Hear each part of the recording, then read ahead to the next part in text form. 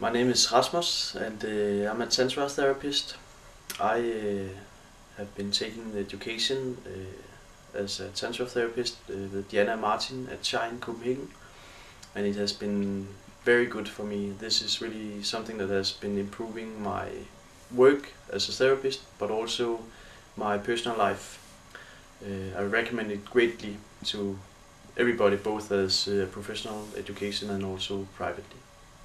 On this uh, workshop I've just been at, I've been uh, learning about um, couple therapy and uh, tantric massage uh, between couples. I've learned uh, new stuff about communication between uh, couples and I've learned some very good skills and tools that I will be able to use both in my work but also in my private life.